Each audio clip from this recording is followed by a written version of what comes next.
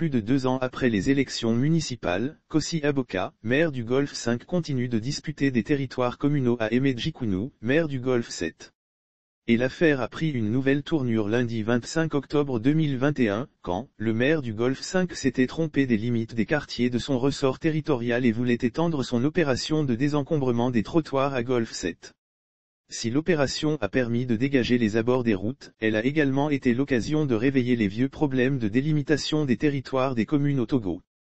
Installés aux abords de la route longeant les rails en allant vers café informatique avec autorisation de la mairie du Golfe 7 pour leurs activités, les occupants ont été sommés de libérer les lieux par la mairie du Golfe 5.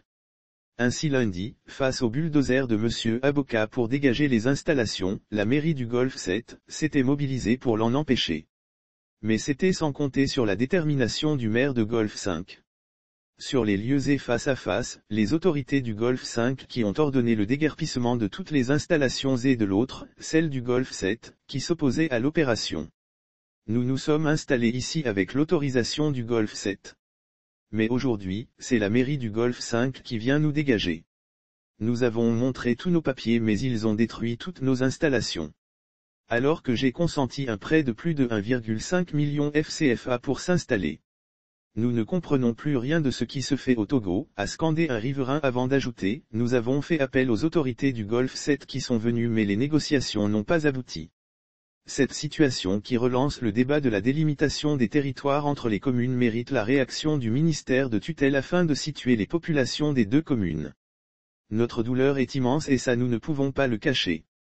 Quand les démolitions ont commencé avec les bulldozers du Golfe 5, nous avons fait appel aux autorités du Golfe 7 qui sont venues nous apaiser et nous rassurer. On nous avait déjà chassé des abords des routes.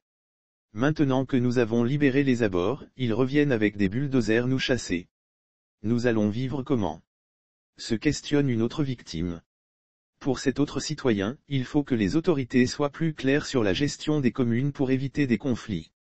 Les autorités de Golfe 7 ont autorisé les installations avec des papiers à l'appui. Mais comment se fait-il que celles de Golfe 5 puissent venir ordonner le déguerpissement?